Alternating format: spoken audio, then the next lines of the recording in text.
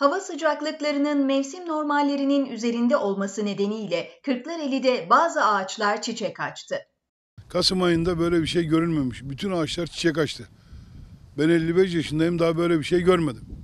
Çiçeklerin açtığı elma bahçesinin sahibi Muzaffer Bayram, geçen yıl aynı dönemde kar yağdığını ifade etti, şaşkınlığını dile getirdi. Şaşırdık. Böyle bir şey görmedim ben 55 yaşındayım görmedim. İl Tarım ve Orman Müdürü Funda Eylem Özel de havaların sıcak olduğu yıllarda bu tür durumlarla karşılaşıldığını belirtti.